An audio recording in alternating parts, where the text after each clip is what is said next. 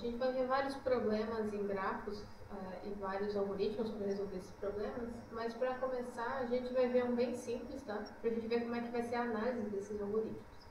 Então a gente quer, uh, o problema chama aqui o problema de calcular o grau de um vértice, eu recebo um grafo em um determinado vértice e eu gostaria de calcular o grau desse vértice. A gente não, não anotou na nossa estrutura essa informação, né? então em geral a gente não tem esse valor pronto é, quando a gente estiver escrevendo um, um, pseudocódigo que vai usar o grau de vértice, eu vou escrever lá assim, olha, é grau do vértice B. Mas a gente tem que lembrar que isso aqui não vai ser obtido em tempo constante, a gente precisa calcular isso. Então, um algoritmo bem simples para resolver isso, pode percorrer todos os vizinhos desse vértice, somando um e um contador aí de grau, certo?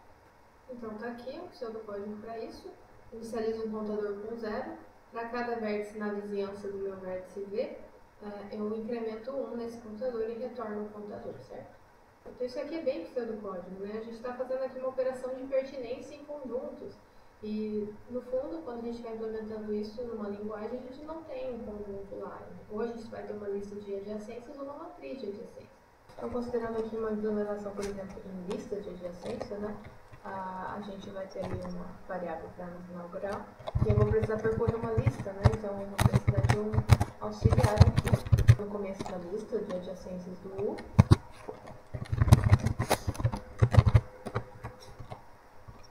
Enquanto eu tiver vértices nessa lista, eu incremento o valor ali no grau e vou para o próximo vértice. E é isso, né? Então, em lista de adjacência, uh, bom, inicializar um contador é algo que é feito em tempo constante, devolver um valor também, né?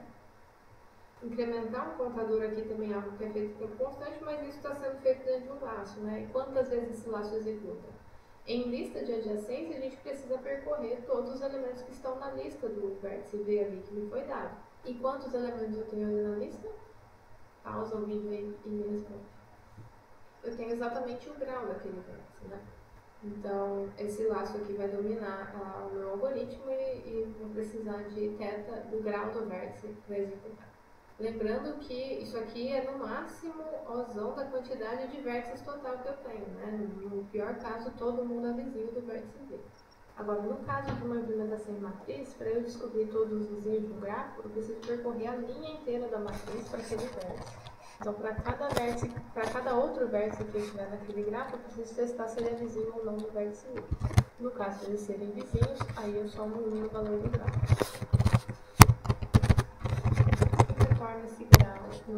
Então, voltando aqui, se a gente está falando de uma implementação em matriz, esse laço aqui, ele vai demorar um tempo proporcional à quantidade total de vértices que eu tenho, porque a gente precisa percorrer a linha inteira da matriz, né? Então, esse algoritmo, e, quando implementado em listas, ele tende a ser bem melhor que o algoritmo quando implementado em matriz.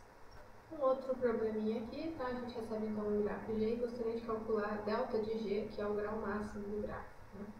Então, esse pode ser um pseudocódigo desse algoritmo, tá? Então, inicialmente eu acho que o grau máximo é zero, para todo vértice, eu comparo esse valor máximo até agora né, com o grau daquele vértice e atualizo se o grau do meu vértice for maior do que o grau máximo para poder retornar de fato o grau máximo, certo?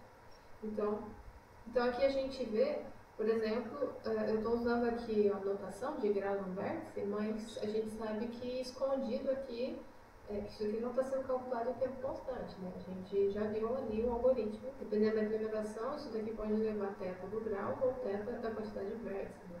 Então o tempo aqui para esse algoritmo de grau máximo também vai depender da implementação. A menos dessas duas linhas, né? Elas vão levar tempo constante, independente da, da implementação que a gente estiver usando. Agora, o tempo que a gente leva para executar esse laço vai depender sim da execução, né? Porque aqui eu preciso calcular o grau do vértice. É, independente da gente calcular o grau vértice, algumas coisas a gente sempre vai fazer para toda a execução desse laço, né? Que é, é percorrer os vértices, né? Incrementar aí o contador, vou fazer um teste aqui para verificar se o valor é menor ou não, né? Então, se a gente está usando lista de adjacência, a gente gasta lá um tempo teta de 1 na inicialização aqui.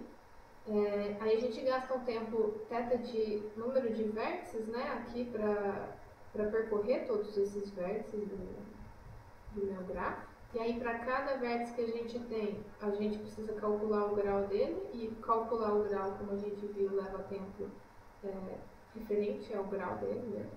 usando listas adjacentes. E aí tem o tempo aqui ainda para fazer a devolução ali do valor, certo? Então, somando tudo isso daqui, a gente, a gente já viu que esse valor aqui, que é a soma de todos os graus de um vértice, é, somar todos os graus do vértice dá exatamente duas vezes o número de arestas, né? Então, o resultado dessa soma aqui é θ do número de arestas. Então, no fundo, eu tenho θ do número de vértices mais θ do número de arestas. Como eu não sei a relação entre esses dois, eu não posso simplesmente dizer que um é maior que o outro e um vai dominar essa relação aqui ou não. Então, a gente mantém θ do número de vértices mais número de arestas.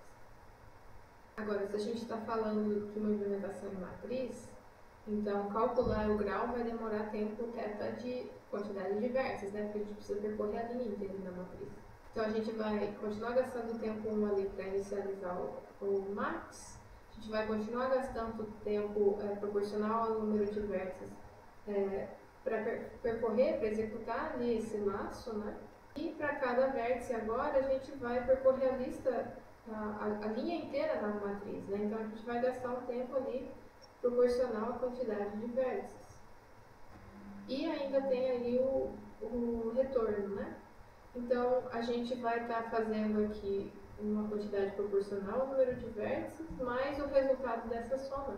E a gente está somando a mesma coisa é, quantidade de vértices vezes, né? Então, isso, o resultado daquele somatório ali é número de vértices ao quadrado. Aí aqui sim, esses dois aqui a gente sabe qual deles domina, então eu vou melhorar isso daqui e manter só o número de vértices ao quadrado.